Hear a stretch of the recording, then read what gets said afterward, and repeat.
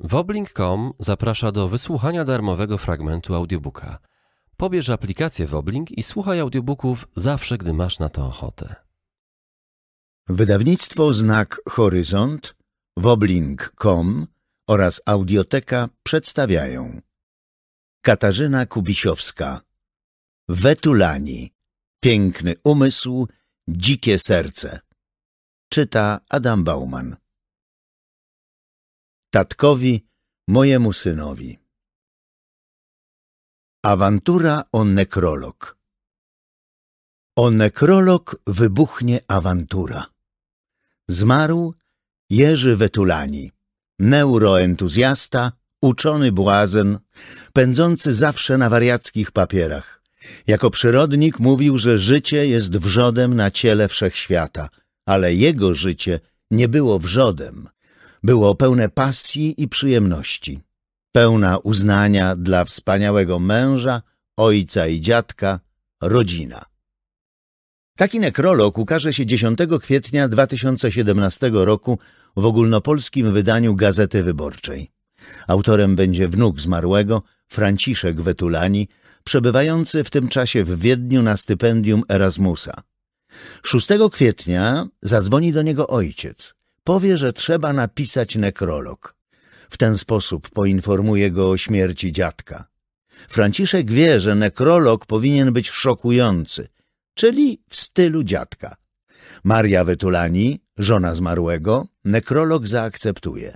Anna Wetulani, wnuczka zmarłego, pół Polka, pół Holenderka, też nie zgłosi sprzeciwu. Ojciec Franciszka, Marek Wetulani, poprosi syna tylko o to, by usunął zdanie odszedł nie mniej efektownie niż żył. Zapyta jeszcze, kto za to zapłaci. Franciszek obruszy się, że w tym momencie to rozważania mało istotne może wyłożyć ze swoich oszczędności. Franciszek będzie pamiętał i o tym, że nekrolog powinien jeszcze przeczytać mieszkający w Utrechcie stryj, Tomasz Wetulani. Franciszek wyśle do Tomasza mail z proponowaną treścią. Ten stwierdzi, że maila nie dostał. Nie znajdzie też w swojej skrzynce żadnej korespondencji z tamtych dni. I wtedy wybuchnie awantura. Tomasz będzie miał pretensje o formę nekrologu, stwierdzi, że jest niegodna ojca. Maria i Anna też wycofają swoje zgody. Wyjdzie na to, że nekrolog to dzieło wyłącznie Marka i Franciszka. Zrobi się nerwowo, każdy uzna, że ma do czegoś prawo. 13 kwietnia 2017 roku w Gazecie Wyborczej ukaże się drugi nekrolog – jego autorem będzie Tomasz Wetulani. Z głębokim żalem zawiadamiamy, że w dniu 6 kwietnia 2017 roku zmarł Jerzy Adam Gracjan Wetulani. 21 stycznia 1936, 6 kwietnia 2017. Uroczystości pogrzebowe rozpoczną się we wtorek 18 kwietnia 2017 roku o godzinie 14 w sali pożegnań na cmentarzu rakowickim w Krakowie, po czym nastąpi odprowadzenie prochów zmarłego do grobu w Alei Zasłużonych. Pogrążeni w żałobie żona, synowie, synowe oraz wnuki. 5 do 10%. Kraków, czwartek, 2 marca 2017 roku, przedwiosenna słota. W Instytucie Farmakologii PAN trwa posiedzenie Rady Naukowej, w czasie którego ma zostać wybrany nowy dyrektor, następca profesora Krzysztofa Wędzonego. Krzysztof Wędzony umiera nagle w połowie kadencji w listopadzie 2016 roku. Na kilka miesięcy profesorowie Irena Nalepa i Władysław Lasoń zostają pełniącymi obowiązki przewodniczącego. Narada jest długa, burzliwa, emocjonująca. Po jej zakończeniu około 16 Irena Nalepa z Jerzym Wetulanim wracają do zakładu biochemii mózgu. Krótka rozmowa i rozchodzą się do gabinetów. Planują jeszcze pracować. Około 18.30 Nalepa zaczyna zbierać się do domu. Zagląda do gabinetu Wetulaniego, pyta, czy podrzucić go do miasta. On odpowiada, że coś kończy, żeby poczekała. Ona nie może czekać Jest umówiona. Wetulani stwierdza, że w takim razie sam sobie poradzi. Z instytutu wychodzi około dziewiętnastej. Ciemno, rozmyte kontury domów, ławek, krawężników. Trasę od ulicy Smętnej 12 przez ulicę Zielony Most do pętli tramwajowej w Bronowicach zna na pamięć. Teraz z grupą ludzi czeka przed przejściem dla pieszych przy ulicy Balickiej. W pewnym momencie robi krok. Uderza w niego Volkswagen Caddy. Wetulani upada na asfalt. Oddycha, lecz traci przytomność.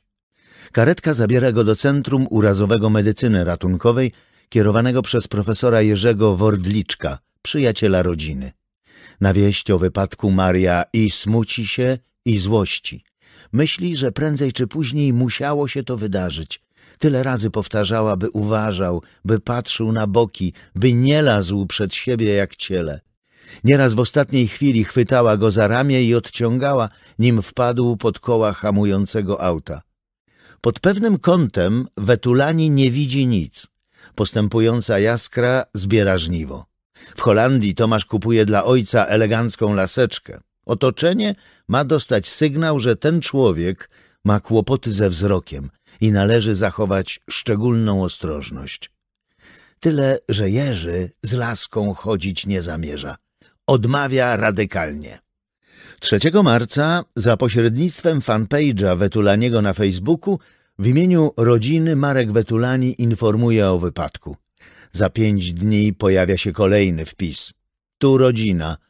Jesteśmy Państwu wdzięczni za tak ogromną ilość słów wsparcia i życzeń zdrowia dla Jurka. Gdyby to tak działało, to samą życzliwością powinniście Państwo postawić na nogi co najmniej dziesięciu nieboszczyków. O wypadku Wetulaniego rozpisuje się prasa. Znajomi chcą znać każdy szczegół. Franciszek żywi przekonanie, że dziadek zrobił kolejne story ze sobą w roli głównej. Wpadł pod samochód, świat ten fakt odnotował, tydzień potrwa zamieszanie, w tym czasie wyzdrowieje, wyjdzie ze szpitala i nadal będzie błyszczeć. Dziadek przecież kocha wprawiać towarzystwo w osłupienie. To jego konik, to jego słabość. Przyjdzie moment, w którym Franciszek skonfrontuje się z rzeczywistością.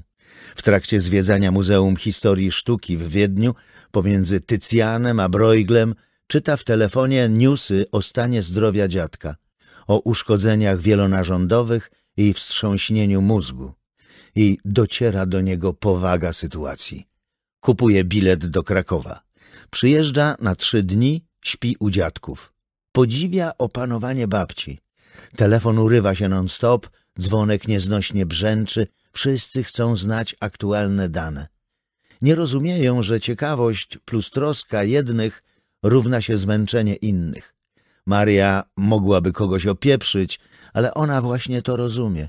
Raz po raz podnosi słuchawkę i bez nuty pretensji komunikuje, że nic się nie zmieniło i dziękuję za zainteresowanie.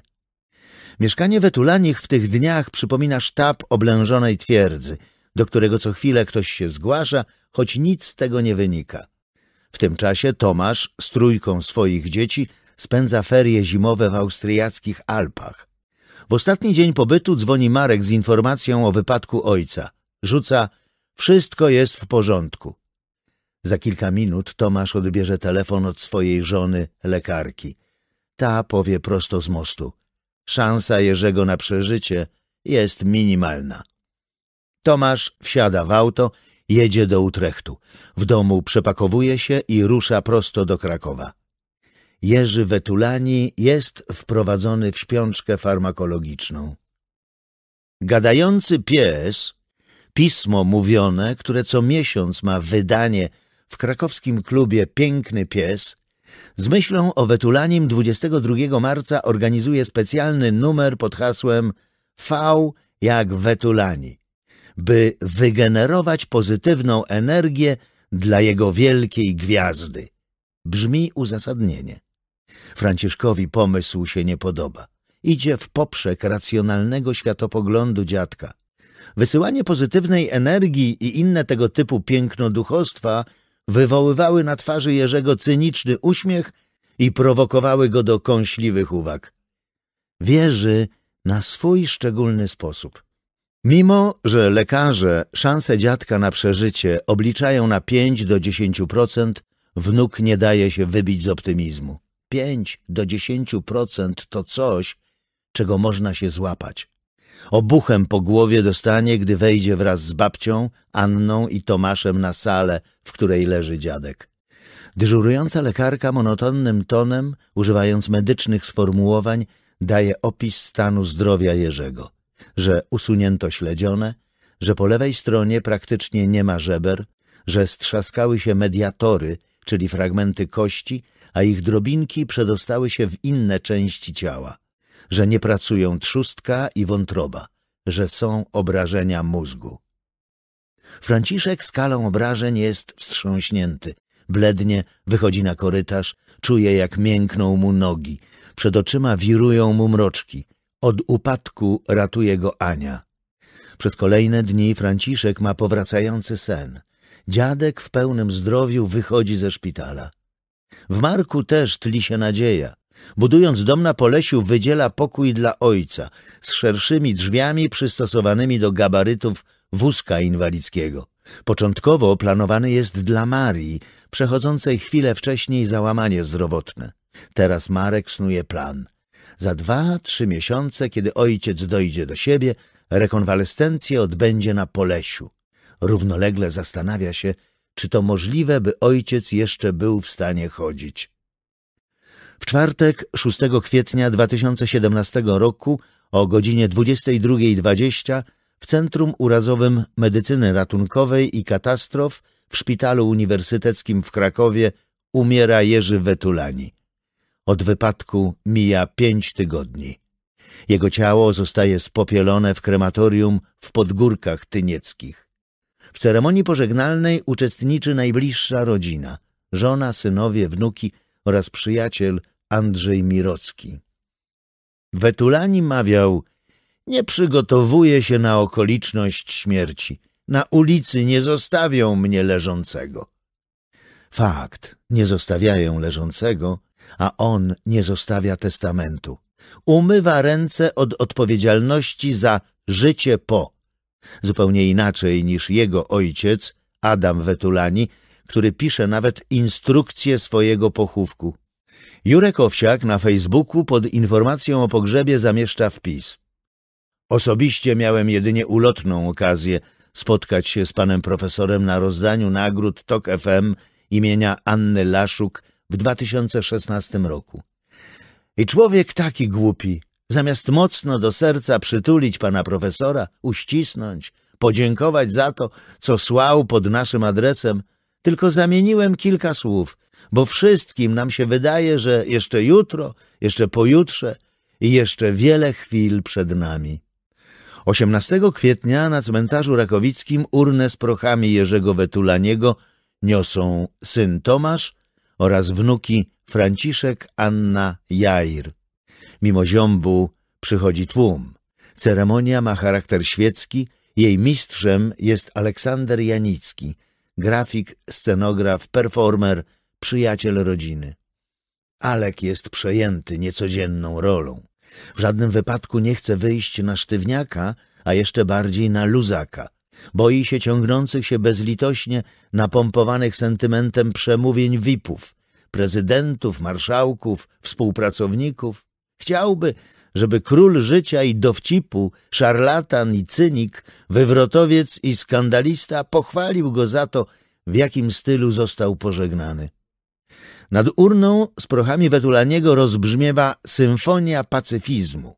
Piosenka Let the Sunshine In z musicalu Hair. To pomysł Marii i ukłon w stronę najlepszego czasu w ich małżeństwie, kiedy mieszkali w Stanach Zjednoczonych. Lecz o to, by spocząć w Alei Zasłużonych, Jerzy zadba sam. No, prawie sam. Rok przed wypadkiem zażartuje, że taniej dla rodziny wyszłoby, gdyby pochowano go w Alei Zasłużonych, wtedy koszty pogrzebu pokryłoby miasto. Franciszek podchwyci temat, podsunie kartkę, zachęci. Dziadku, napisz swoją wolę. Dziadek napisze, a potem kartka zginie. Możliwe, że wnuk ją zniszczy, bo Jerzy doda, że chce, by jego ciało zostało spopielone.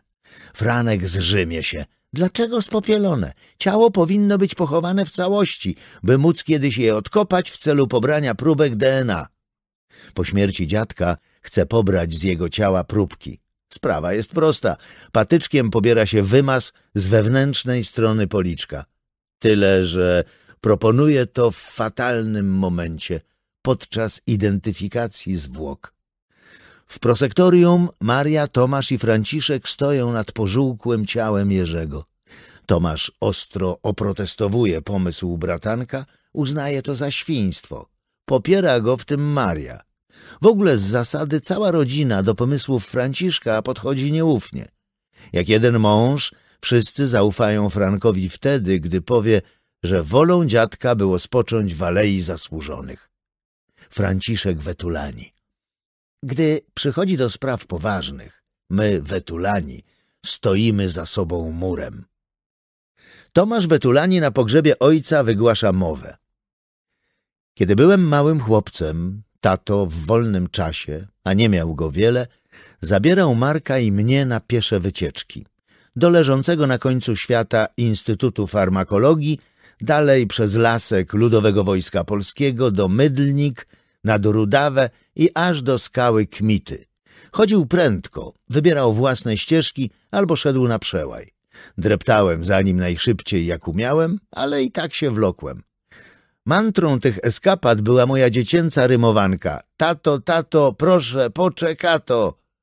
Ojciec wymykał się szablonowym próbom opisu. Niekonwencjonalność była jego konwencją. Był za to uwielbiany, ale i nieznoszony, podziwiany i odsądzany od czci i wiary. Mam wrażenie, że tato grał z rzeczywistością, z życiem w ping-ponga. Subtelnie, przewrotnie, złośliwie, dowcipnie i mądrze podkręcał piłeczkę, by ją mistrzowsko odbić i w ten sposób utrzymać w niekończącej się grze. Przyszedł czas, że wybrałem własne ścieżki, własne tempo i własne przełaje.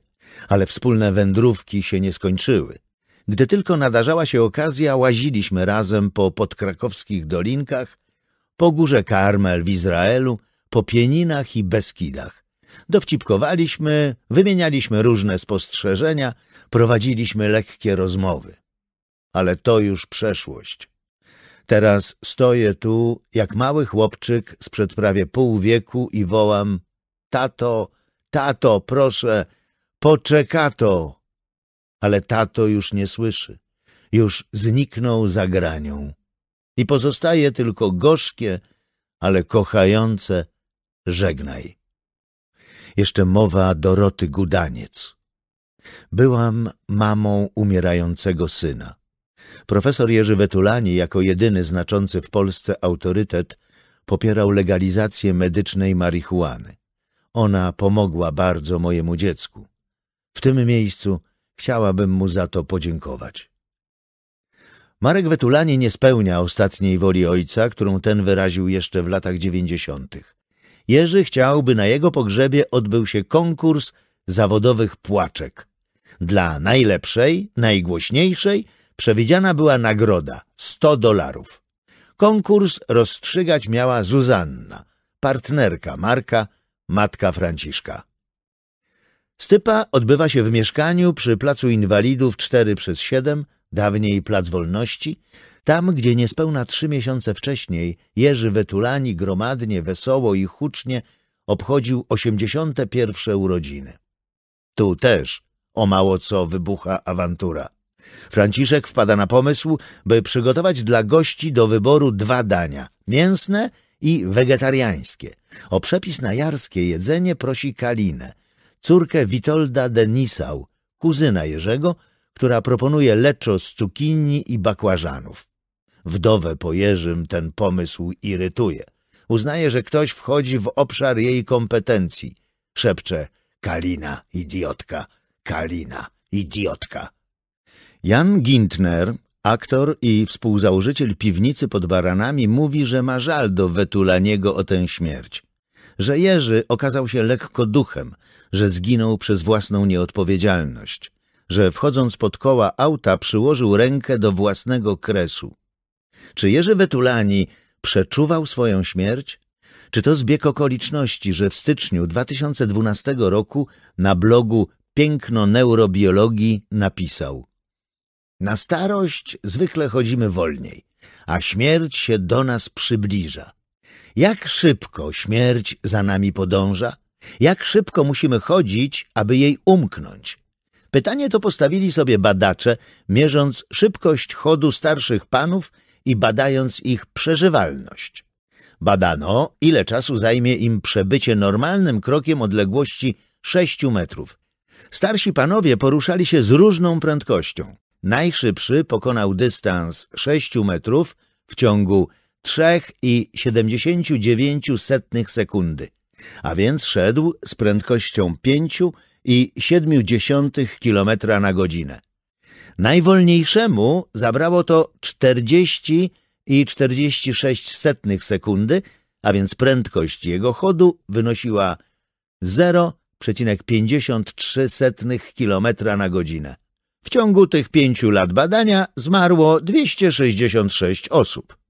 Analiza statystyczna zależności śmiertelności od szybkości chodu wykazała, że tzw. Tak indeks Judena osiąga maksimum przy 2,95 km na godzinę.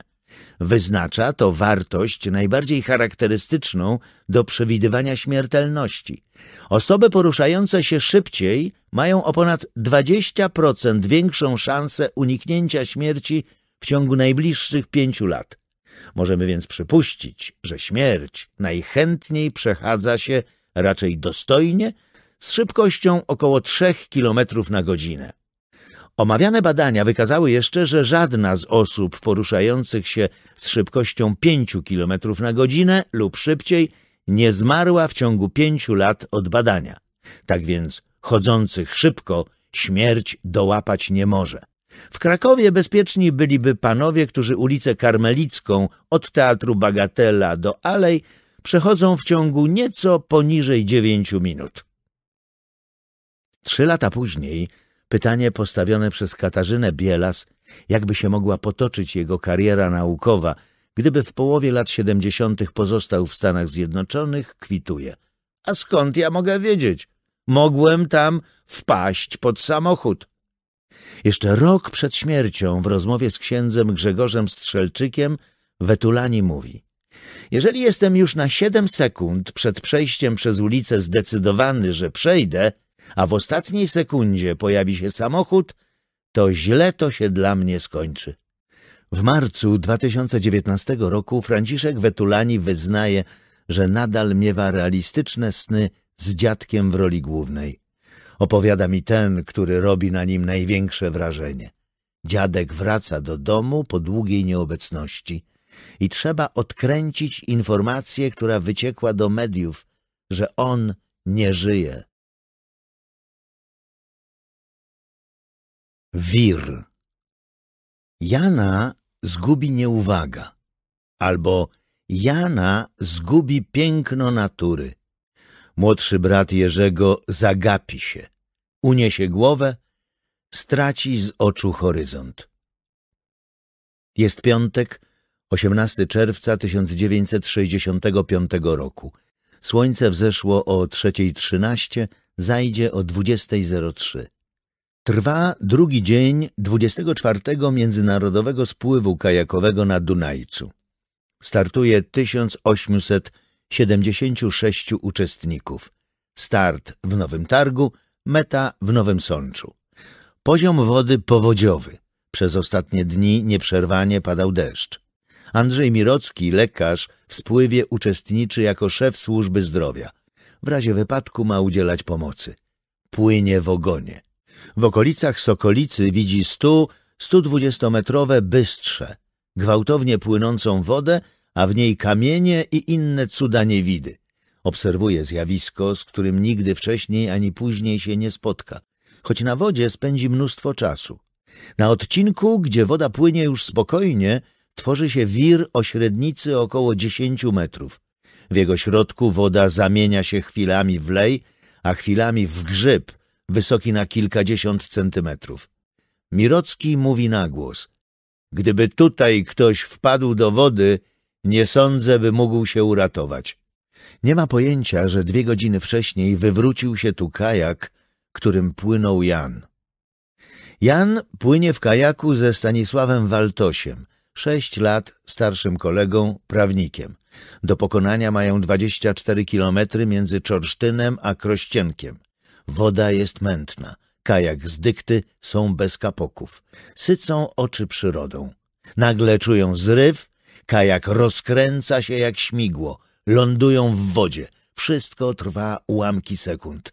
Janka wciąga wir. Znika pod wodą. Jakaś para ma odwagę podpłynąć na tyle blisko, by podać Waltosiowi wiosło. Łapie się, jemu się udaje. Ciało Jana zostaje wyłowione poniżej Krościenka. Kilometrami dryfuje z nurtem Dunajca. Kilka godzin wcześniej, podczas tego samego spływu, ginie doktor weterynarii Aleksander Ratomski. Kiedy w mieszkaniu Wetulanich dzwoni telefon, słuchawkę podnosi Irena, matka Jana. Ktoś mówi, że prosi do telefonu żonę Jerzego, czyli Marię, jej synową. Irena na to, już wołam. Chwilę czeka i zmienionym głosem wypowiada zdanie, słucham, tu Maria Wetulani. Ktoś w słuchawce, zapewne z trudem, przekazuje informację o śmierci Janka. Irena odkłada słuchawkę. Martwieje. Przez jej duszę przechodzi lawina rozpaczy. Podnosi słuchawkę po raz drugi, wykręca numer arcybiskupa Karola Wojtyły, przyjaciela rodziny. Prosi go o przyjście do ich mieszkania przy Placu Wolności. Nie czeka długo. Teraz już są razem, siedzą w salonie. Z wykładu powinien już wrócić Adam, mąż Ireny, ojciec Jerzego i Jana. W końcu jest, otwiera drzwi, od progu, jak to ma w zwyczaju, mówi śpiewne Halo! Widzi w salonie Irenę i Karola. Tknięty przeczuciem pyta Janek? Teraz już rozmawiają we trójkę. Pochyleni, skupieni. Adam i Irena nagle starsi o całe swoje życie. Następnego dnia Wetulani, profesor prawa kanonicznego, zmacerowany i blady jak ściana, idzie prowadzić wykład. Etos profesorski nie pozwala mu opuścić zajęć. Dziennik Polski w wydaniu z dnia 18 czerwca 1965 roku. Obydwaj zmarli byli wytrawnymi kajakarzami turystami. Wielokrotnie brali udział w tego rodzaju imprezach wodniackich. Opisane wypadki miały już miejsce po przepłynięciu najtrudniejszych odcinków rzeki. Na znak żałoby ze spływu wycofały się wszystkie załogi klubu turystyki kajakowej PTTK z Krakowa, którego członkami byli obydwaj tragicznie zmarli turyści. W tym samym numerze dziennika kilka stron dalej zamieszczony zostaje nekrolog. Jan Wetulani, magister praw i magister filozofii, asystent Uniwersytetu Jagiellońskiego, urodzony 4 maja 1938 roku, zmarł śmiercią tragiczną dnia 18 czerwca 1965 roku. Pogrzeb odbędzie się w kaplicy na cmentarzu rakowickim w poniedziałek dnia 21 czerwca o godzinie 14, o czym zawiadamiają pogrążeni w głębokiej żałobie rodzice, braterstwo i rodzina. Nabożeństwo żałobne zostanie odprawione we wtorek dnia 22 czerwca o godzinie 18 w kościele ojców kapucynów. W nekrologu Jana uderza słowo braterstwo. Dziwne, jakby nie na miejscu. Są niczym Kain i Abel. Jerzy prowokujący, Jan wyważony. Starszy ateista, młodszy wierzący. Pierwszy testuje granice cierpliwości rodziców, drugi jest dla nich opoką. Pierwszy kąsa, drugi łagodzi. Jurek ekstrawertyczny, gaduła, pysk mu się nie zamyka, wszystko wie, wszystko przeczytał, a jak nie przeczytał, to dobrze słyszał. Janek małomówny introwertyk. Nawet trudno powiedzieć, czy się lubią. Jurek niezadowolenie okazuje już w momencie narodzin Janka. Staje na głowie, by go wyeliminować.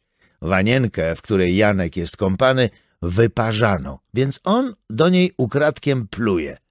Kiedy indziej Jurkowi udaje się skraść puderniczkę swojej matki chrzestnej Doni Dobrowolskiej i wysypać jej zawartość na kilkumiesięcznego Janka.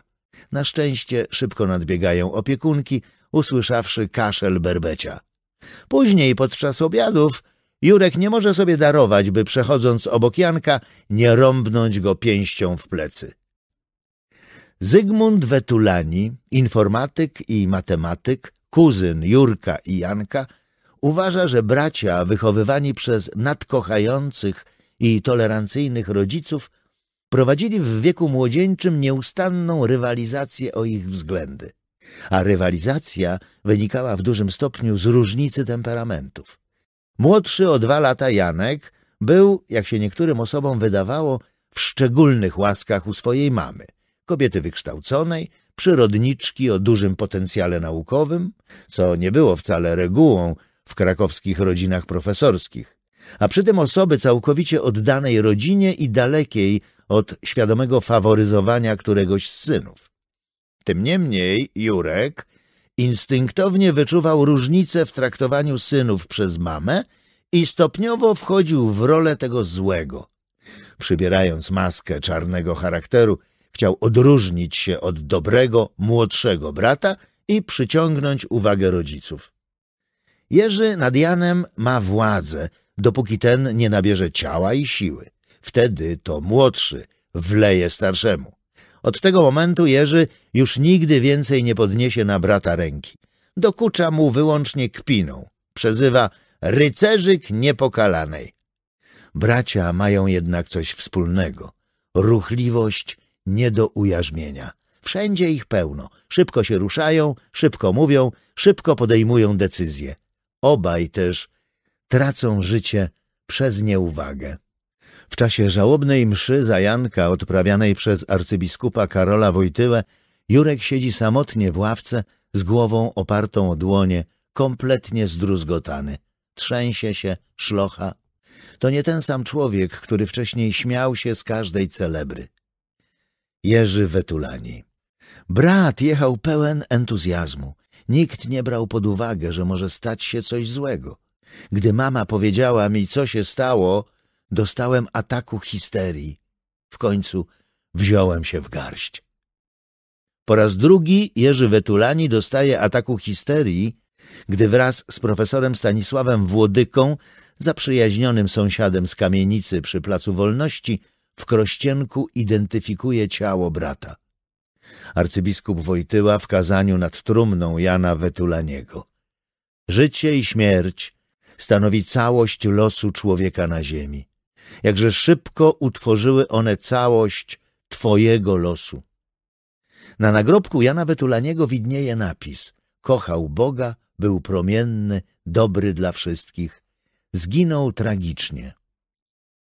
Profesor Stanisław Waltoś, z którym spotykam się w listopadzie 2019 roku w jego gabinecie, mieszczącym się w renesansowych murach Collegium Majus, niechętnie wraca do przeszłości łamiącym się głosem wyznaje, że wciąż czuje się winny, że powinien zginąć on, a nie Janek. Waltoś, zapalony kajakarz, po śmierci Janka sprzedaje składak. Pasja się kończy, trauma zostaje. Ale nigdy nie zapomni ciepła, którym obdarzył go Jurek w tych tragicznych chwilach. Pocieszał, obejmował, identycznie zachowywał się jego ojciec. Do dziś kilka razy w roku pali znicze na grobie Janka. 1961 dni Ich dzieciństwo przypada na czas okupacji. We wrześniu 1939 roku Jurek ma lat trzy, Janek rok. Jerzy pamięta, jak 6 września Niemcy wjeżdżają do Krakowa ulicami Królewską i Karmelicką. Mama odsuwa synów od szyby. Boi się strzałów w okna. Chwilę wcześniej Polacy wywożą galarami Wisłą do Sandomierza ołtarz Wita Stwosza, a przez Rumunię do Kanady skarby z Wawelu, arrasy, chorągwie, najcenniejsze egzemplarze broni. Rozpoczyna się pierwszy z 1961 dni okupacji. Dekretem Hitlera z części okupowanych ziem polskich, województw kieleckiego, krakowskiego, lubelskiego oraz części łódzkiego i warszawskiego powstaje generalne gubernatorstwo o powierzchni prawie 100 tysięcy kilometrów kwadratowych, zamieszkałe przez około 12 milionów ludzi ze stolicą w Krakowie. Niemcy planują, że Kraków stanie się metropolią niemieckiego wschodu. Lewy brzeg z Wawelem, rynkiem głównym, monumentalnymi alejami i błoniami jest pomyślane jako przestrzeń czysto niemiecka. Miasto zbudowane na planie magdeburskim, z silnym w średniowieczu żywiołem niemieckiego mieszczaństwa, z Kopernikiem, który tu studiował, i Witem Stwoszem, który pozostawił tu po sobie dzieła znacznie istotniejsze niż w Norymberdze, z nadal żywotnym sentymentem habsburskim, wszystko to daje pożywkę nazistowskim propagandystom. Powtarza się więc, że Kraków to uralte deutsche Stadt, prastare miasto niemieckie. Hasło to ściąga nad Wisłę kupców i przedsiębiorców, którzy, jak Oskar Schindler, wietrzą tu Eldorado. Urzędników, którzy znajdują tu spokojną pracę daleko na zapleczu frontu, młode kobiety, które niekoniecznie chcąc rodzić arcyaryjskie dzieci, próbują wybić się na samodzielność, wreszcie żołnierzy Wehrmachtu, Luftwaffe i Waffen-SS.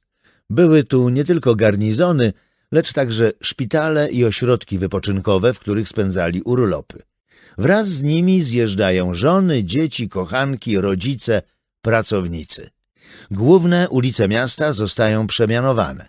Rynek główny na Adolf Hitler Platz, mały rynek Kleiner Markt, Plac Wszystkich Świętych, Rathausplatz, Aleja Trzech Wieszczów, Außenring, ulica Grodzka, Burgstrasse, ulica Długa, Johann Hallerstrasse, ulica Basztowa, Wehrmachtstrasse, a ulice Dunajewskiego, Podwale, Straszewskiego i Podzamcze Westring.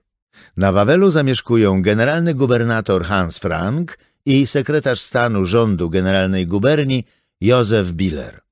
Rząd Generalnej Guberni lokuje się w gmachu Akademii Górniczej.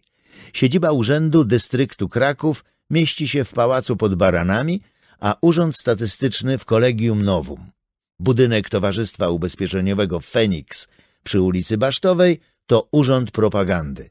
Polska Akademia Umiejętności zmienia się w Bibliotekę NSDAP. 6 listopada naziści przeprowadzają Sonderaktion Krakau. Tadeusz Ler-Spławiński, rektor Uniwersytetu Jagiellońskiego, a także ojciec chrzestny Jerzego, zaprasza kadrę profesorską na wykład Sturmbannführera SS Brunona Millera, który ma przedstawić stosunek III Rzeszy i narodowego socjalizmu do zagadnień nauki i szkolnictwa wyższego. Spotkanie ma się odbyć o 12 w Kolegium Novum, w sali wykładowej nr 66 imienia Mikołaja Kopernika. Dziś sala ma numer 56 i nosi imię Józefa Szujskiego. Rektor apeluje o liczny udział pracowników. To skutkuje. Obecni są prawie wszyscy profesorowie. Niektórzy spóźnieni i zatrzymani przez niemiecki kordon otaczający Uniwersytet Jagielloński domagają się, by ich przepuszczono. Miller wchodzi do sali, a za nim SS-mani z bronią. Zamiast prelekcji profesorowie usłyszą krótkie oświadczenie. Moi panowie, zwołałem was, aby wam powiedzieć, że Uniwersytet Krakowski był zawsze ogniskiem antyniemieckich nastrojów. W tym duchu nieżyczliwym wychowywał młodzież. Teraz panowie próbowali otworzyć uniwersytet, nie pytając się nas. Panowie próbowali odbywać egzaminy, nie pytając się nas. Dlatego zostaniecie aresztowani i posłani do obozu. Stanisław Estreicher podnosi ręce na znak, że proszą o głos. Miller odmawia, wskazuje drzwi. Herr rektor, bitte voran. Panie rektorze, proszę przodem, mówi z ironiczną kurtuazją. Rozlegają się krzyki. Raus, ale raus. Wszyscy wyjść. Jeden z Niemców kopie Estreichera, a gdy ten odwraca głowę z gniewem, zostaje spoliczkowany. Inny uderza kolbą w plecy byłego rektora Fryderyka Cola, którego chwilę wcześniej przedstawiono Millerowi jako członka Akademii Prawa Niemieckiego. Znieważając profesorów, Niemcy ładują ich na ciężarówki zaparkowane dyskretnie z tyłu kolegium. Naziści zatrzymują 184 pracowników naukowych. Większość deportują pod Berlin do obozu koncentracyjnego Sachsenhausen, gdzie profesorów wita adiutant komendanta, potem kierownik obozu Rudolf Hess. Wszyscy jesteście gównem pangermańskiej Rzeszy. Obóz dla internowanych jest jedną kupą gówna, gdzie wszyscy macie zdechnąć. Jedyną drogą ku wolności jest dla was komin krematorium. W obozie panują fatalne warunki, skąpe wyżywienie i brak ciepłej odzieży. Perwersyjne formy znęcania się nad więźniami przynoszą plon. Wielogodzinne apele na stojąco przy temperaturze dochodzącej w styczniu 1940 roku do minus 25 stopni Celsjusza błyskawicznie wycieńczają uczonych w podeszłym wieku. Trzynastu spośród nich, w tym Stanisław Estreicher, Ignacy Chrzanowski, Leon Sternbach i Michał Siedlecki, nie dożyją zwolnienia w lutym 1940 roku. W styczniu 2017 roku Jerzy Wetulani powie Były to czasy, kiedy właściwie wszyscy profesorowie reprezentowali wysokie standardy etyczne. Owi internowani profesorowie zorganizowali życie w sposób, który pozwalał na zachowanie godności. Jeden z nich, najuczciwszy z uczciwych, zajmował się dzieleniem chleba, bo wiadomo było, że ani kruszynki więcej nie weźmie dla siebie. Zorganizowano Komitet Ochrony Rąk profesora Miodońskiego, który był chirurgiem laryngologiem, więc dla niego ręce były najważniejsze. Inni profesorowie, dla których palce nie były tak istotne, nosili za niego kotły. Zatem nawet w skrajnych warunkach silny wzorzec etyczny może bardzo wiele zdziałać. Profesor Brzezicki, psychiatra, przed wojną był uważany za takiego trochę lekkomyślnego galanta, fircyka. Po Sachsenhausen stał się jedną z najbardziej cenionych postaci. Trudne warunki ujawniły jego pozytywne cechy. W innych przypadkach nieraz było odwrotnie. Wystarczy podać przykłady kolaboracji. 9 listopada odbywa się Zweite Sonderaktion Krakau. Akcja, podczas której uwięzionych zostaje 32 nauczycieli, a także prawnicy, posłowie, urzędnicy, księża. Łącznie zostaje aresztowanych około 120 osób, których część trafia do więzienia w Nowym Wiśliczu, później do Auschwitz. Wprowadzony zostaje zakaz używania polskiej nazwy Kraków i herbu polskiego orła. Niszczone są pomniki Grunwaldzki, Kościuszki i Mickiewicza. Od 12 listopada 1939 roku do 17 stycznia 1945 roku w Pałacu Prasy przy ulicy Wielopole 1 wydawana jest gadzinówka Krakauer Zeitung. Od września 1939 roku do końca roku pojawiają się obwieszczenia i zarządzenia władz okupacyjnych adresowane do mieszkańców Krakowa. Zarządzenie z 13 września. Wszystkie sklepy żydowskie oraz restauracje i kawiarnie należy natychmiast zaznaczyć jako firmy żydowskie. Zaznaczenie odbywa się poprzez umieszczenie gwiazdy Dawidowej w wystawach sklepowych. Przy otwartych stoiskach przez wywieszenie odnośnego plakatu. Rozporządzenie z 10 października. Świadome słuchanie audycji obcych stacji radiowych jest wzbronione. Przekroczenia będą karane więzieniem. Będące w użyciu aparaty zostaną zarekwirowane. Kto świadomie rozpowszechnia wiadomości podane przez zagraniczne stacje radiowe, a mogące zaszkodzić obronności narodu niemieckiego, będzie karany więzieniem, w wyjątkowych wypadkach śmiercią. Obwieszczenie z 27 listopada. Polscy i żydowscy posiadacze samochodów wszelkiego rodzaju w mieście Kraków winni się ze swoimi pojazdami wraz z przyczepkami stawić na małym rynku począwszy od ósmej rano. obwieszczenie z 19 grudnia. Obok języka niemieckiego jako urzędowego dozwolone jest również używanie języka ukraińskiego. Język hebrajski i żargony żydowskie są zakazane. Żydowskim przedsiębiorstwom zakazuje się używania w oznaczeniu przedsiębiorstwa języka niemieckiego. Muszą być one oznaczone gwiazdą Syjonu w tak widoczny sposób, aby zakład przemysłowy z ulicy natychmiast można było rozpoznać jako żydowski. Od 23 grudnia 1939 roku szef magistratu w Krakowie nosi tytuł Stadthauptmann der Stadt Krakau. Dalej pojawiają się obwieszczenia o zakazach. Używania tramwajów przez Żydów 1 marca 1940 roku, wchodzenia Żydom na planty i rynek główny 29 kwietnia 1940 roku, wprowadzania się do miasta osób narodowości nieniemieckiej 22 listopada 1941 roku. Kinoteatr Skala, dzisiejszy Teatr Bagatela, dostępny jest nur für Deutsche, podobnie jak kawiarnie Phoenix przy ulicy Jana czy Literarische Kaffeehaus. Dziś mieści się w tym miejscu klub dziennikarzy pod Gruszką. W 51. urodziny Adolfa Hitlera 20 kwietnia 1940 roku w budynku Kolegium Majus oficjalnie rozpoczyna swoją działalność Instytut für Deutsche Ostarbeit, Instytut Niemieckich Prac na Wschodzie, w skrócie zwany Instytutem Wschodnim, Ostinstytut. Prezesem zostaje sam gubernator Hans Frank. Instytut ma badać zajęte tereny wschodnie pod kątem ich przydatności dla Rzeszy Niemieckiej oraz udowadniać ich prastary niemiecki charakter. Służyć temu mają zaawansowane badania antropologiczne prowadzone przez sekcję rasową Ostinstytutu. Podczas spaceru alejkami plant między ulicą Dunajewskiego a Pałacem Sztuki Jurek pyta mamę o pomnik Grodgera. Czy ten pan żyje, czy umarł?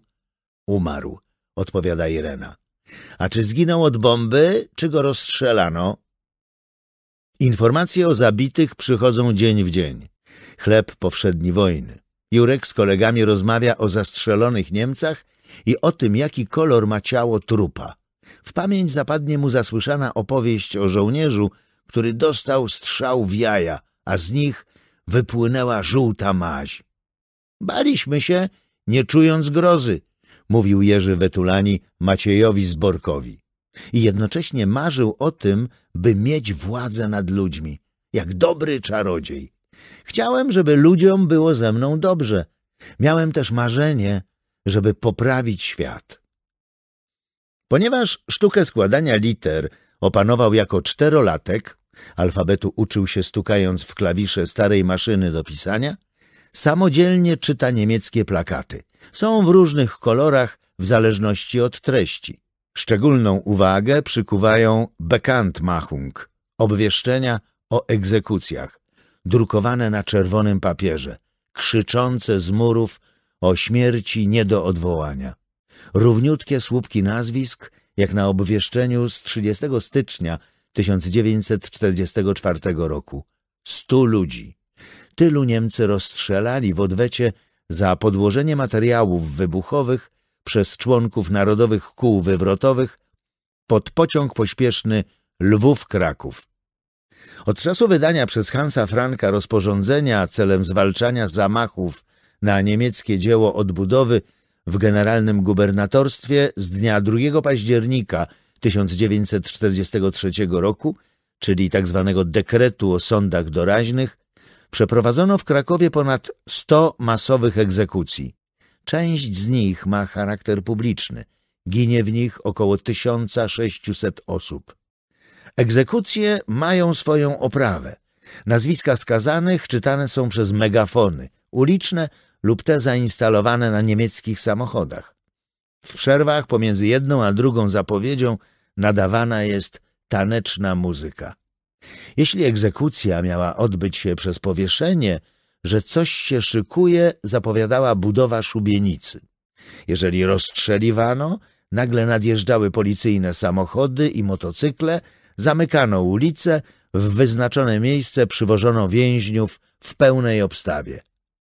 W obozie w Płaszowie egzekucje odbywały się cztery razy w tygodniu na wzgórzu nazywanym Chujową Górką, od nazwiska nadzorującego je SS-mana Alberta Chujara. Jeden z dowódców obozu, Ferdynand Glaser, zabawia się dodatkowo, ustawiając więźniów przed rozstrzelaniem w figury geometryczne. Skazańcy na rozkaz SS-mana wyskakują z ciężarówek, składają z boku swoje ubrania, nadzy schodzą do przygotowanego rowu i kładą się twarzą do ziemi. Mordowani są strzałem w kark. Ich ciała pozostawiano na miejscu na kilka godzin w przypadku rozstrzeliwań lub kilka dni w przypadku powieszonych, by większa liczba osób mogła je zobaczyć. Kiedyś Jurek zaskoczy mamę prośbą Mogę popatrzeć na egzekucję? Irenę przejdą ciarki. Odmówi. Jan Gintner, pięć lat starszy od Jurka, w latach czterdziestych jest na tyle duży, że nie musi pytać dorosłego o pozwolenie. Wspomina. Z kolegą jeździliśmy zwiedzać szubienicę. Tramwaj dojeżdżał prawie pod sam dworzec w Płaszowie, gdzie stała szubienica w kształcie trzepaka do dywanów. Na drucie wisiało piętnaście zwłok, wśród których była jedna kobieta, to znaczy jedne zwłoki w spódnicy. I to nie byli ludzie, tylko manekiny, taka pokazówka, by zastraszyć. Tramwajem jeździliśmy też do getta, z ciekawości. Sprawdzaliśmy, co się tam dzieje. Nasze tramwaje, tak zwane sanockie, trafiły do Norymbergi a do Krakowa z Norymbergi przyjechały stare, rozklekotane wozy na pantografy. W getcie widzieliśmy pięciometrowe słupy i zasieki z drutu kolczastego. Wokoło mnóstwo gettowej policji. Judischer Ordnungsdienst. Pilnowali, by pasażerowie nie rzucali czegoś z tramwaju. A myśmy wcześniej zbierali chleb, kroiliśmy go w kostki, potem suszyli i w papierowych torbach wyrzucali z tramwaju. Czasami rzucaliśmy też jabłka, cebule.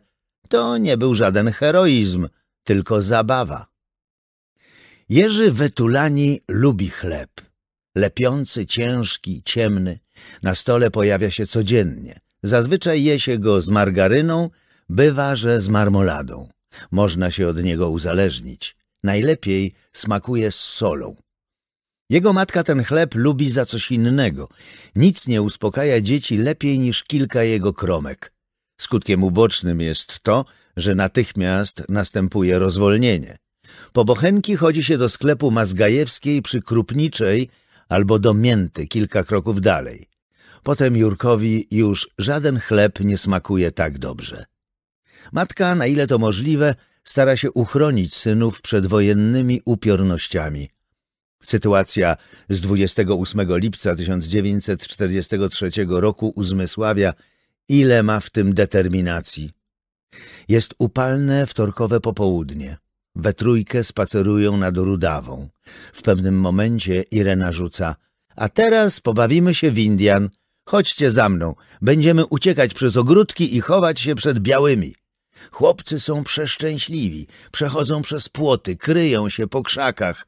Dla nich to pierwszorzędna zabawa, dla niej gra o życie.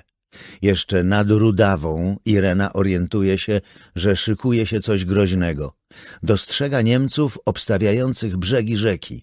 Wie, że jej synowie nie mogą poczuć grama niepokoju. Wówczas zabawa w szczęśliwy powrót mogłaby mieć zupełnie inny finał.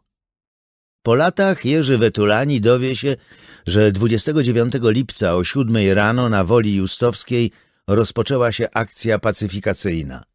Niemiecka i granatowa policja przeszukała gospodarstwa, mężczyzn po rewizji osobistej wyprowadzano na błonia i kazano im leżeć twarzą do ziemi z wyciągniętymi rękami w palącym słońcu, bez wody, do późnych godzin popołudniowych i czekać na wynik przesłuchań, podczas których podejrzani byli wieszani za ręce, bici cepami i styliskami od narzędzi rolniczych. W wyniku akcji ginie 21 ludzi. Zostają też zlikwidowane konspiracyjne drukarnie. Jedna z nich mieści się w domu Ludmiły Korbutowej, wdowy po lekarzu. W październiku 1939 roku Korbutowa włącza się w działalność organizacji Orła Białego. Już w pierwszych miesiącach okupacji zainstalowana zostaje w jej domu maszyna drukarska, potem wydająca innymi Dziennik Polski. Po 72 latach od tego zdarzenia Jerzy doceni mamę. Zachowała zimną krew i nas świetnie oszukała, bo kompletnie nie zdawaliśmy sobie sprawy z zagrożenia. Irena rozbudza w synach ducha patriotyzmu. Na domowym stole leży prasa podziemna. To z niej Jerzy dowiaduje się, że 4 lipca 1943 roku w katastrofie gibraltarskiej zginął generał Sikorski.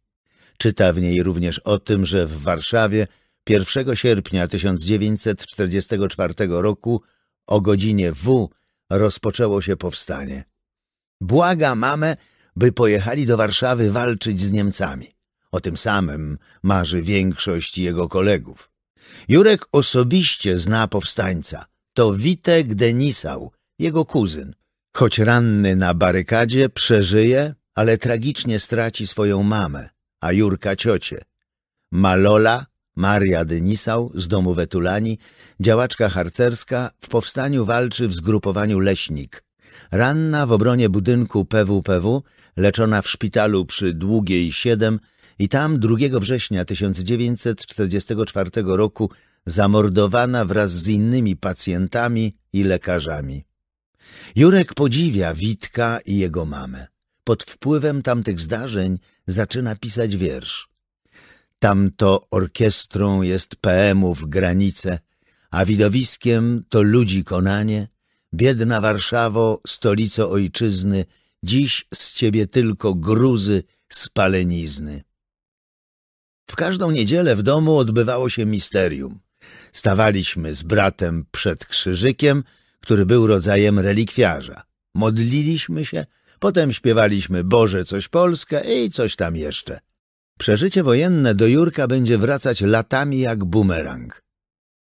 Jan Güntner jest przekonany, że okupacja człowieka naznacza na zawsze, że z niej się nie wyrasta, jak ze starych ubrań. Jesteśmy dziećmi wojny i tego nie można z siebie wymazać. To część naszej natury. Gdy idę przez rynek główny, to idę przez Adolf Hitler Platz. Gdy idę koło Filharmonii, to idę przez Westring. Jak idę przez aleję, to idę przez Außenring. A wąskotorówką, której trasa biegła koło młynów na Wieczystej i dalej do Kocmyżowa, jeździłem łapać motyle. Tą samą wąskotorówką na motyle jeździli Jurek z Andrzejem Mirockim. Przyjaciel jak brat, brat jak nieprzyjaciel. Właśnie, Andrzej Mirocki. Wetulani powie, wnuk generałowej Zielińskiej okazał się człowiekiem, który mnie ukształtował. I doda, że bił go sznurkiem po rękach, kiedy nie umiał powiedzieć z pamięci całej liczby pi. Mirocki dla Jerzego jest jak brat. Okoliczności temu sprzyjają. Mieszkają w jednej kamienicy, rodzina Wetulanich zajmuje lokal pod rodziną Mirockich.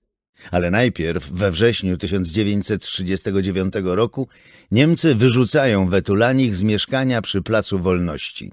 Stryj i mama Jurka szukają miejsca, gdzie mogliby się zatrzymać. Trafiają do babci Mirockiego, Józefy Zielińskiej z domu Onicz, współwłaścicielki kamienicy przy Garncarskiej 4.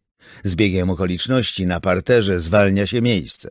Wcześniej mieszkał tam Ludwik Wojtyczko, znakomity krakowski architekt, między innymi domu przy Placu Wolności, który opuszczają Wetulani. Jurek z Andrzejem przyjacielskie ostrogi zdobywają stopniowo. Najpierw spotykają się na balkonie, potem w ogrodzie, w końcu odwiedzają się w domach. Wymyślają tajemny alfabet. Dogadują się pukaniem w ścianę. W ten sposób informują się, czy się widzą za pół godziny, czy za dwie. Jako miłośnicy motyli, chrząszczy i much zakładają KZO – Klub Zbieraczy Owadów. Uchwalają, że Andrzej jest prezesem, Jurek wiceprezesem, a Janek skarbnikiem. Prawdę powiedziawszy, skarbnik nie ma nic do roboty ze względu na zerowe fundusze, lecz tu chodzi raczej o prestiż, o to, by każdy sprawiedliwie dostał tytuł i poczuł się ważny. Chłopcy łapią motyle wiszące potem w gablotach pokoju Andrzeja. Podejmują też próby hodowli. Kiedyś pod koniec zimy z gąsienic wylęgły się pazie królowej. Chcą na temat przyrody wiedzieć wszystko. Czytają, pytają, oglądają. Mama Jurka jeździ z synami do znajomych, właścicieli domu z ogrodem w Bronowicach. Z kolei Andrzej bywa u ciotki na prądniku. Po takiej wizycie zaczyna się festiwal samochwalstwa. Jeden widział takie kwiaty, drugi takie, ten to, tamten siamto. Eskalują napięcie. Jeden drugiemu chce bardziej, jeszcze bardziej, najbardziej zaimponować. Jurek mówi, że w Bronowicach rośnie krzak z czerwonymi gałęziami. Andrzeja z wrażenia zatyka. Po chwili wypala. A wiesz, Jurek, tam u cioci był krzak, co miał gałęzie niebieskie. Urze, i to wierutnie, ale efekt osiąga. Jurek ze zdumienia otwiera buzię. Żółwie to już zasługa okupantów, mogą być im wdzięczni. Niemcy sprowadzą je do Krakowa koleją z Grecji. Żółwie czmychają przez niedomknięte drzwi wagonów stojących na dworcu. Nawet one potrafią szybko tuptać na krótkich nóżkach, ścigane strachem przed tym, że trafią na stół w formie parującej zupy. Andrzejowi udaje się zdobyć jednego żółwia, potem drugiego. Dzień w dzień Andrzej z Jurkiem maszerują po sałatę na plac szczepański. Gadzie śniadanie, obiad i kolację. Kiedyś kładą je na ziemi w odległości około trzech metrów od siebie. Gdy jeden się budzi, zaczyna wykonywać dziwne ruchy na boki. Podbiega do drugiego i łup uderza w niego skorupą. Tłucze tak mocno, że tamten chowa łapy i tak głośno, że lokatorzy wychodzą na balkon, by sprawdzić, co się dzieje. Potem żółw pierwszy wspina się na żółwia drugiego. To są zaloty. Trwają trzy dni. Ogród to ich raj. Tu spędzają całe dnie. Kiedyś wpada im do głowy, że powinny w nim mieszkać zaskrońce. Jadą je łapać nad stawy przy skałkach Twardowskiego. Wracają tramwajem z plecakami pełnymi węży. Wysiadają na przystanku przy moście dębnickim, sprawdzają, co słychać u ich podopiecznych. A tam ani jednego zaskrońca. Wszystkie uciekły. Najpierw ogarnia ich złość. Potem żałują, że nie widzieli reakcji pasażerów. Andrzej na przyjaciela ma dobry wpływ. Nastoletni Jurek popala. Andrzej tłumaczy, że to niezdrowe i szkodliwe. Jurek jednak jest uparty. Andrzeja olśniewa i zdobywa amerykańskie Chesterfieldy. Wiedzie na pokuszenie. Wiesz, Jurek, jak chcesz, to mam papierosy. Jurek, jakie? Andrzej, amerykańskie. Jurek, a, no to dawaj. Wypala pierwszego. Mało. Andrzej podsuwa drugiego. Przy trzecim Jurek wymiotuje. Rzuca palenie na kilka lat. Po 1945 roku Andrzej z Jurkiem nadal zabawiają się w wojnę. W ogrodzie budują bunkry. Im są starsi, tym bunkry są większe, głębsze i bardziej ukryte. Jeżdżą do cichego kącika, tam w okopach zbierają naboje. Potem je otwierają, wysypują proch, a puste pociski wykorzystują do strzelania z procy do butelek z karbonitem. Sami też produkują proch z węgla drzewnego, siarki i saletry. Proch wsypują do rowka, dorzucają łuski i naboje, podpalają ląd i zaczyna się strzelanina. Aż dziw, że mają wszystkie palce. Przychodzi czas, kiedy Andrzej i Jurek zaczynają interesować się ciążą. Dociekają, w jaki sposób dziecko wydostaje się z brzucha na zewnątrz.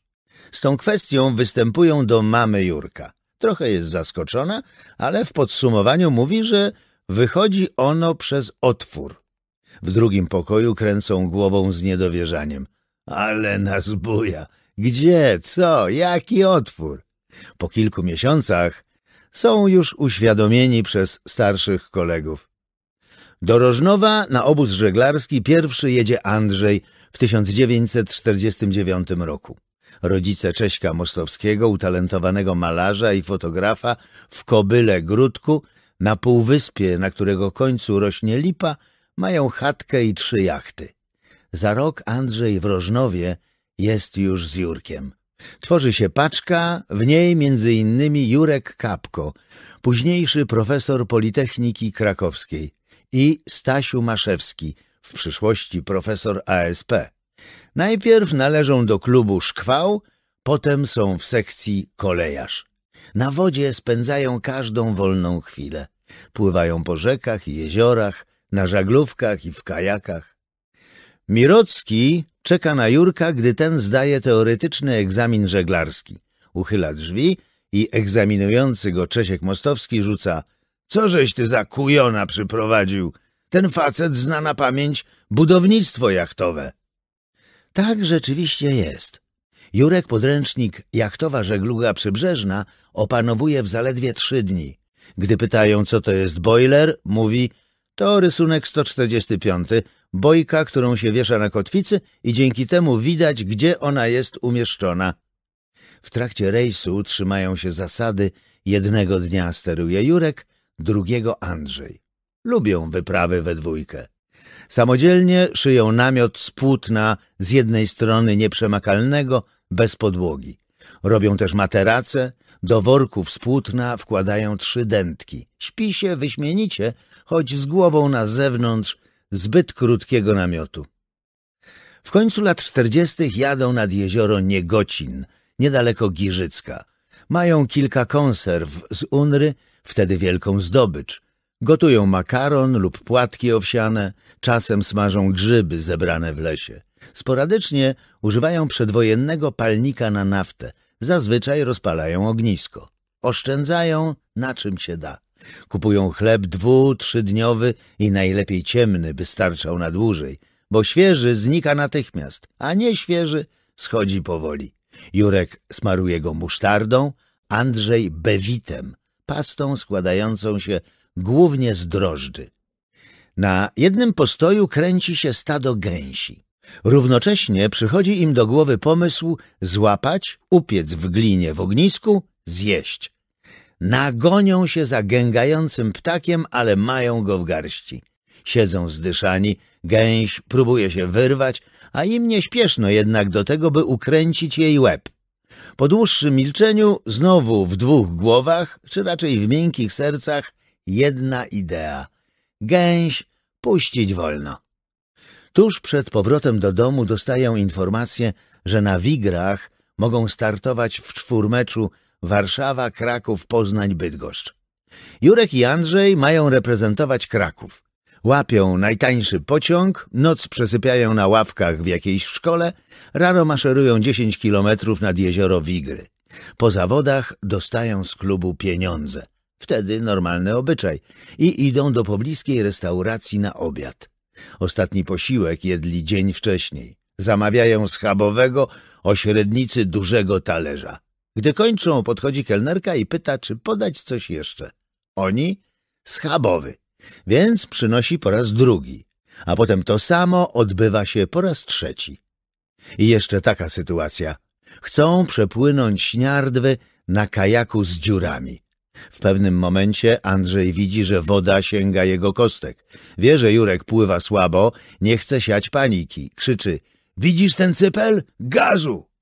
Przed nimi dwieście trzysta metrów. Dwadzieścia metrów przed brzegiem Andrzej wyskakuje z kajaka, pcha go z całych sił.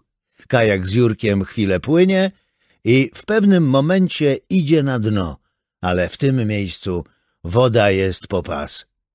Tylko świeże zakupy, w tym cukier, rozpuszczają się w wodzie. Przygarniają ich okoliczni gospodarze, karmią, pozwalają spać w szopie, zostają u nich dwa dni, pomagają przy młódce, noszą pięćdziesięciokilogramowe worki. W tym czasie kajak schnie. Zreperują go po powrocie do Krakowa. Popłyną nim jeszcze dwa razy. W 1955 roku, jadąc na Mazury, zatrzymają się w Warszawie – gdzie rozpoczyna się Światowy Festiwal Młodzieży i Studentów. Miasto w kolorach, domy zrujnowane za okupacji, udekorowane transparentami z napisami w różnych językach. Pod Pałacem Kultury grupa przewodników szkoli się do tego, by następnego dnia oprowadzać zagranicznych gości. Andrzej z Jurkiem mieszają się z grupą przewodników. Ich alibi stanowią dżinsy ogrodniczki, wtedy szał modowy, mało kto je ma. Wkładają ręce do kieszeni i na bezczelnego wchodzą do pałacu. Są nierozłączni przez lata. Na jednej z wypraw kajakowych coś iskrzy między Jurkiem a pewną dziewczyną. Potem wyzna ona Andrzejowi. Sądziłam, że jesteście parą. O relacje z Jankiem Jurek nie dba zupełnie. Młodszego brata właściwie zna mało. Janek to fotograf amator, posiadacz startu dwuobiektywowej lustrzanki, pierwszego polskiego modelu produkowanego od połowy lat pięćdziesiątych. By wykonać zdjęcie, trzeba zwolnić niewielką dźwignię. Należy pamiętać o przewinięciu korbką rolki filmu tak, aby nie naświetlić ponownie tej samej klatki. W instrukcji obsługi producent pisze Aparat podtrzymuje się prawą ręką od spodu, przy czym migawkę wyzwala się kciukiem. Lewa ręka obsługuje gałkę odległości. Skomplikowana obsługa w połączeniu z dużą wagą wyjaśnia, dlaczego sporo ze zdjęć było nierówno kadrowanych. Janek odbitki wykonuje samodzielnie. Zdjęcia najchętniej robi na wyprawach górskich i kajakowych środowiska, grupy akademickiej działającej przy kościele świętego Floriana, prowadzonej przez Karola Wojtyłę, nazywanego przez młodzież wujkiem. Wojtyła jako wikary codziennie o szóstej rano odprawia mszę świętą dla studentów. Prowadzi rekolekcje, organizuje konferencje dotyczące kluczowych problemów człowieka. Gdy w październiku 1951 roku przechodzi na urlop naukowy, duszpasterską pracę kontynuuje w kościele świętej Katarzyny, a z młodzieżą nieraz spotyka się w swoim mieszkaniu przy ulicy Kanonicznej. Wtedy też zaczyna rozwijać duszpasterstwo turystyczne, czyli organizuje wycieczki w okolice Krakowa, do Tyńca i Wadowic, a zimą na narty, do Zakopanego. Na pierwszą dużą wycieczkę rodzinka, czyli wujek z grupą, udaje się w czerwcu 1952 roku do Bielska. Potem jedno lub kilkudniowe wypady odbywają się co miesiąc, a nawet częściej. W czerwcu 1953 roku wyruszają na tydzień w Beskidy, a w sierpniu najpierw w Bieszczady, a potem na pierwszą wyprawę kajakową po Brdzie. W kolejnych latach kajakarze wraz z wujkiem zdobywają czarną hańczę, drawę, czarną wodę, Krutynie. W 1958 roku podczas spływu Łyną wujek otrzymuje wiadomość o nominacji biskupiej. Jeszcze przed konsekracją 28 października wybiera się z rodzinką w Beskidy, a latem 1959 roku, już jako biskup, ale nadal wujek, zgodnie z tradycją na kajaki na kanał Elbląski. I tak co roku, również gdy zostaje arcybiskupem, a potem kardynałem. Wujek jest na nogach pierwszy, już ogolony i wykąpany, przygotowuje się do plenerowej mszy świętej. Za ołtarz, ukryty w zaroślach lub w obniżeniu terenu, służą kajaki. To wszystko dzieje się w epoce, w której obowiązuje zakaz wszelkich zgromadzeń publicznych, a odprawianie polowej mszy świętej w ogóle nie wchodzi w rachubę. W trasie odmawia się anioł pański, wieczorem są spotkania przy ognisku, czas na refleksję, ale także śpiewy, w tym piosenki mazowsza, powstańcze, turystyczne. Ksiądz Karol, namawiany przez innych, śpiewa swoją ulubioną balladę o bokserze Luisie. Księdzu Adamowi Bonieckiemu w pamięci utkwi jeden obraz. Wczesne lata sześćdziesiąte, mieszkanie córki Jerzego Turowicza, Elżbiety, po mężu Jogały, spotkanie ludzi ze środowiska, trochę zmanierowanych, trochę wyniosłych, a na ich tle Janek Wetulani, wyróżniający się naturalnością. Zwyczajny człowiek, niczego nie muszący nikomu udowadniać. O Janku do dziś mówi się, że był dobrym człowiekiem dobry syn, dobry kolega, dobry student. Kim byłby Jan Wetulani Anno Domini 2022? Profesorem prawa na jednym z europejskich lub amerykańskich uniwersytetów, a wcześniej działaczem opozycji demokratycznej i doradcą Solidarności przy okrągłym stole? To żarliwy student. Nauka jest dla niego na pierwszym miejscu. Pracę magisterską poświęca Konstytucji Republiki Weimarskiej. Dalej pełni obowiązki asystenta przy Katedrze Prawa Karnego kierowanej przez profesora Władysława Woltera.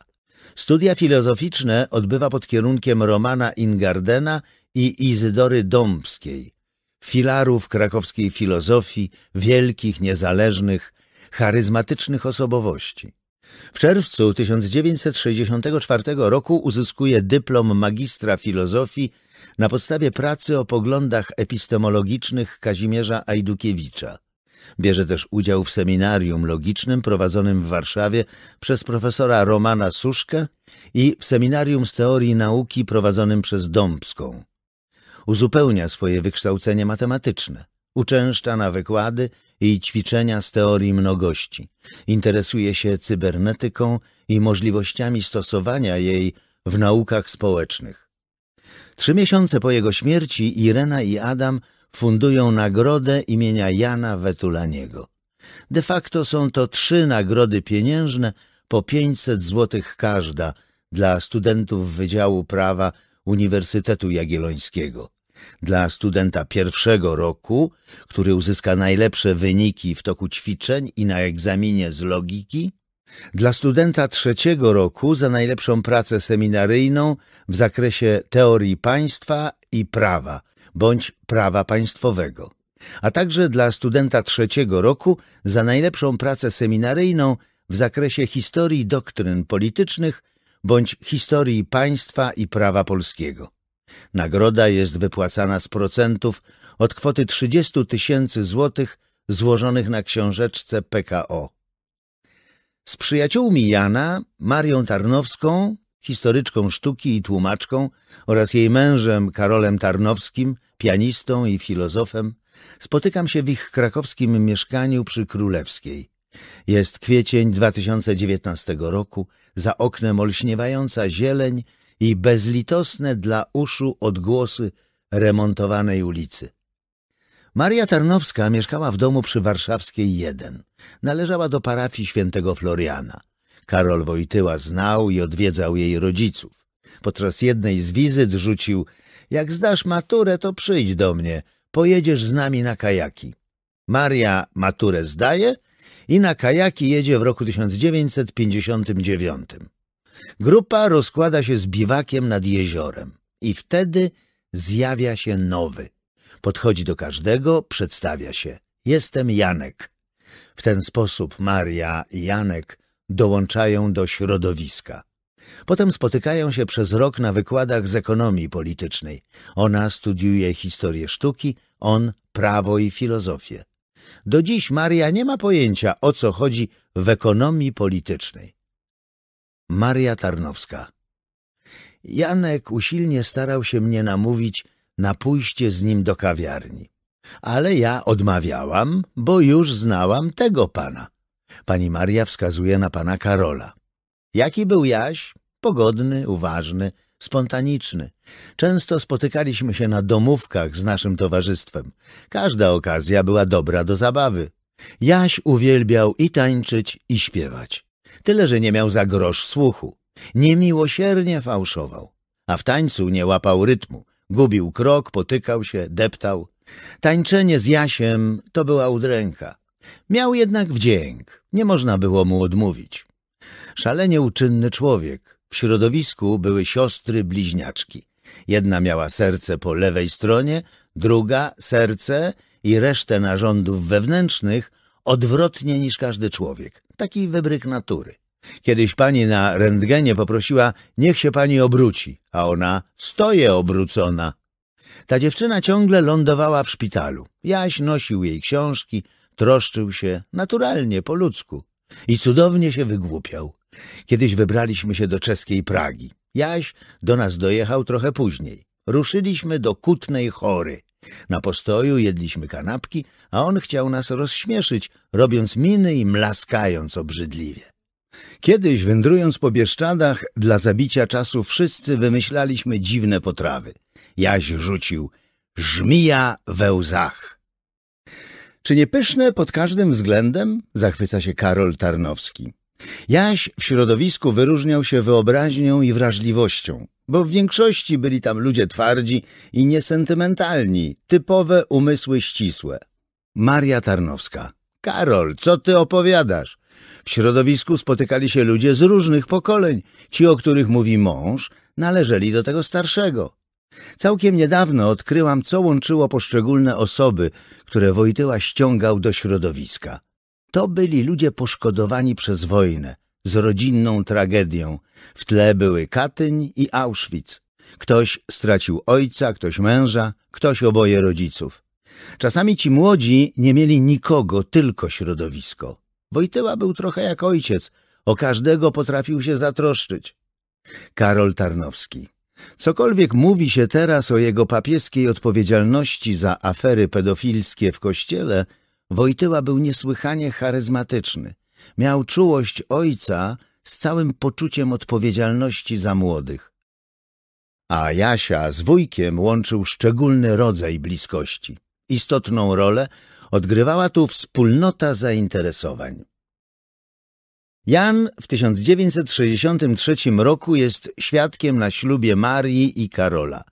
De facto na dwóch ślubach, bo pierwszy jest cywilny i zwariowany. Ze śpiewem na ustach państwo młodzi wraz z gośćmi wędrują do Urzędu Stanu Cywilnego, a potem do kawiarni na lody.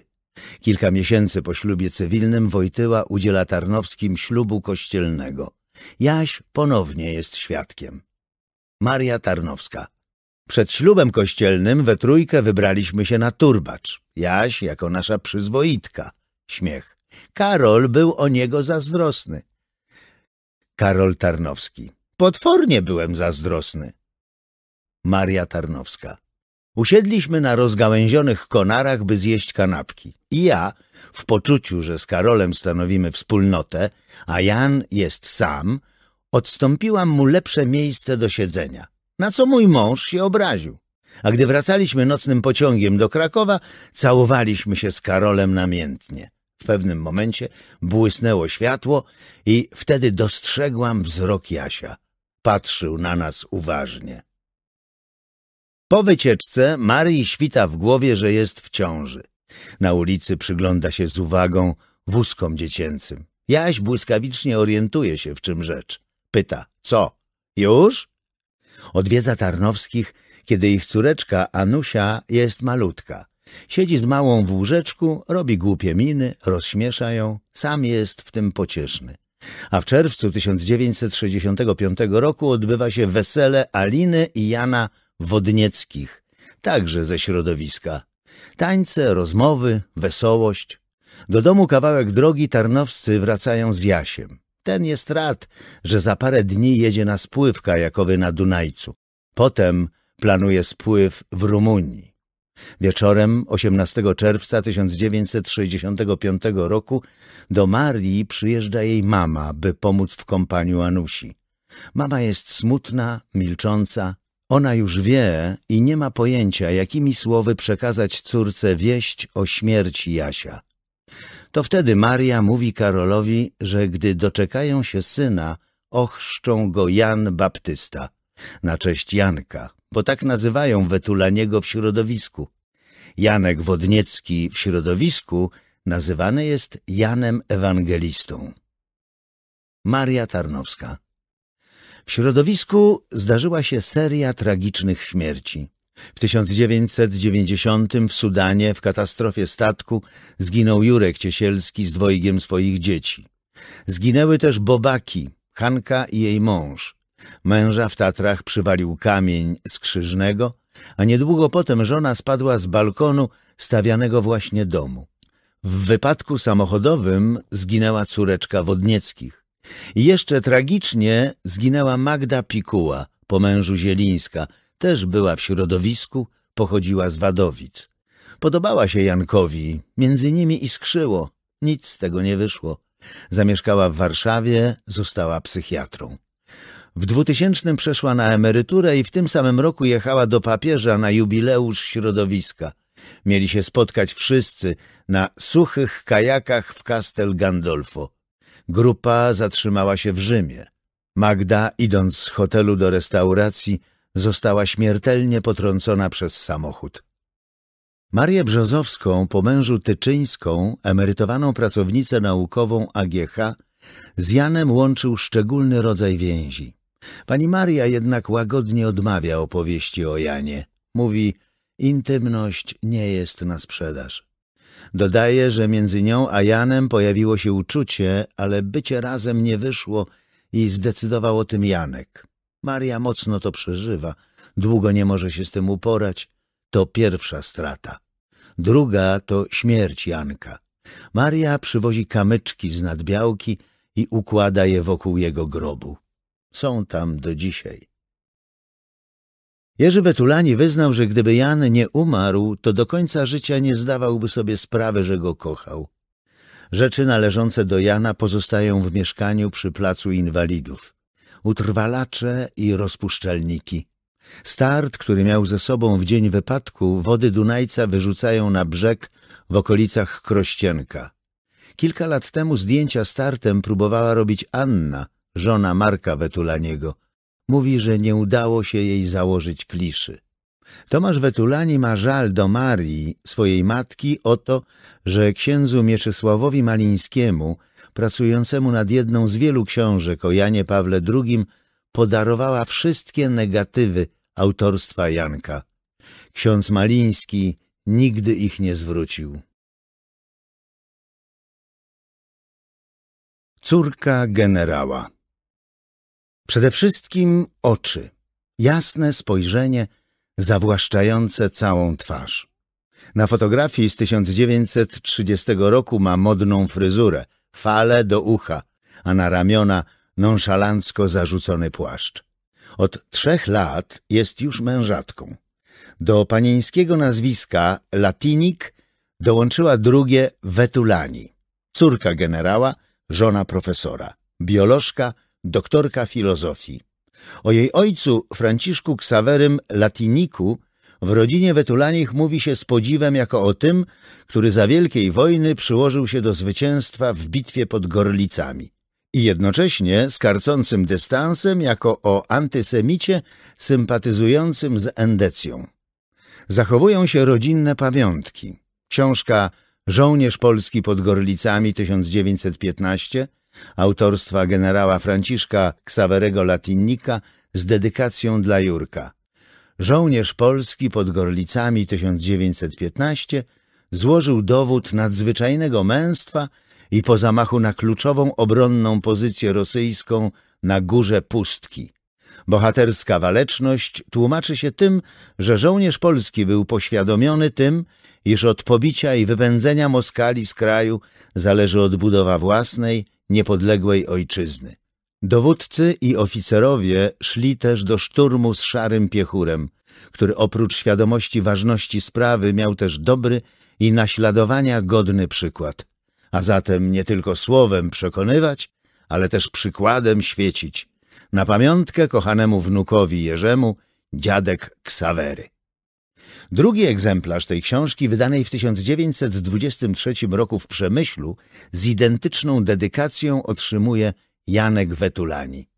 Franciszek Latinik rodzi się w Tarnowie 17 lipca 1864 roku, kiedy Polska liże rany po powstaniu styczniowym. Podobno oryginalny zapis nazwiska to Latini, ale jakiś ksiądz w akcie chrztu ostatnie i zamienia na k. Jego ojciec, Antoni, nauczyciel geografii, ma ambicje naukowe. Pisze też książki. Geografia Galicyi dla szkół ludowych z osobną odpowiednią mapą działkową oraz Obywatel, państwo, sąd, formy rządów. Matka Kornelia z domu Romer oprócz Franciszka rodzi jeszcze Karolinę, Wandę, Jana, Teofila, Zygmunta, Marię i Wiktora. W domu latinników pielęgnuje się postawy patriotyczne. Stawia się za wzór dziadka Teofila Romera, powstańca krakowskiego, jego żonę Mariannę Łempicką, herbu Junosza i ich syna Ksawerego, poległego w bojach w 1863 roku. Franciszka od dziecka pociąga żołnierka. Pasja wyznacza ścieżkę edukacji. Najpierw pobiera nauki w szkole kadetów piechoty w podkrakowskim Łobzowie. Potem w szkole wojennej w Wiedniu, która otwiera drogę do najwyższych dostojeństw w armii Franciszka Józefa. Testowany zgodnie z pragmatyką na różnych wojskowych stanowiskach. Jako oficer sztabu generalnego pracuje w biurze kartograficznym SG. Odbywa staż w charakterze szefa sztabu brygady. Po awansie na kapitana SG zostaje skierowany do 13 Pułku Piechoty w Krakowie, by nabrać praktyki w służbie liniowej. W stopniu majora SG zostaje komendantem swej macierzystej szkoły kadetów w Łobzowie. Dalej, już jako podpułkownik SG, awansuje na zastępcę dowódcy pierwszego pułku piechoty w Opawie. Jego karierę oficerską przyspiesza wybuch Wielkiej Wojny. Po ogłoszeniu mobilizacji obejmuje dowództwo drugiego pułku marszowego, wraz z którym już w sierpniu bierze udział w ofensywie na Lublin. Bije się z Rosjanami pod Annopolem, Ratoszynem, Kraśnikiem, Rozwadowem i Mielcem. We wrześniu 1914 roku obejmuje dowództwo setnego pułku piechoty. Wraz z nim przechodzi do historii po bitwie pod Gorlicami. 2 maja 1915 roku wojska austriacko-niemieckie rozrywają pozycje wojsk rosyjskich. Straty są olbrzymie. Przemysłowe Gorlice obracają się w cementarzysko gruzu, a po obu stronach jest 200 tysięcy rannych i zabitych. Jednocześnie jest to kluczowe zwycięstwo na froncie wschodnim. Mówi się o nim Małe Verdun. Od tego momentu carska Rosja traci siły militarne, a wraz z nimi całą Galicję, Królestwo, Litwę, Kurlandię, zachodnią część Białorusi, Podola i Wołynia. Przełom pod Gorlicami toruje drogę do powstania niepodległej Polski. Jerzy Wetulani w 2010 roku powie – Zdobycie wzgórza Pustki 2 maja 1915 roku było możliwe dzięki nowej taktyce wymyślonej przez mojego dziadka i jego kolegę generała Rozwadowskiego. Natarcie pułku ruszyło dosłownie w momencie, gdy Rozwadowski nowymi, precyzyjnymi chałbicami marki Skoda przeniósł wał ogniowy 300 metrów do przodu. Niedawno na dziewięćdziesięciolecie bitwy gorlickiej Byłem na tym wzgórzu pustki. To musiało być mordercze pięcie się w górę, porównywalne z Monte Cassino. Po uzupełnieniu strat pułk dowodzony przez Latinika ściga Rosjan przez Biecz i Jasło aż do Jarosławia, gdzie chory dowódca składa komendę. Powraca do służby po dwóch miesiącach urlopu na wyższe stanowisko dowódcy 23. Brygady Piechoty. Także i z tą jednostką Latinik odnosi sukcesy. 26 lipca 1915 roku zdobywa ufortyfikowany Brześć nad Bugiem. Jesienią 1917 roku brygada pod jego dowództwem w austriacko-niemieckiej ofensywie pod Caporetto zdobywa m.in. Monfalcone i Aquileje oraz uczestniczy w pościgu aż do rzeki Piawy. W lutym 1918 roku pułkownik obejmuje komendę nad ósmą Brygadą Piechoty, biorącą udział w bojach w Tyrolu. Tym razem fortuna go opuszcza. W czerwcu odnosi ciężką ranę, która eliminuje go z czynnej służby. Kończy służbę w CK Armii, udekorowany m.in. Orderem Korony Żelaznej, Orderem Franciszka Józefa, Krzyżem Zasługi Wojskowej a także niemieckim Krzyżem Żelaznym pierwszej i drugiej klasy. Po rozpadzie Austro-Węgier pułkownik SG Franciszek Latinik nie ma cienia wątpliwości, że jest Polakiem. 2 listopada 1918 roku melduje się w Wojsku Polskim i odmawia przyjęcia Orderu Marii Teresy. Dziękujemy za wysłuchanie fragmentu audiobooka. Pełną wersję oraz e-booka i książkę papierową – znajdziesz na woblink.com i w aplikacji Woblink. Jeżeli chcesz dostawać powiadomienia o najlepszych audiobookach, zasubskrybuj nas już teraz. woblink.com. Czytanie zdarza się wszędzie.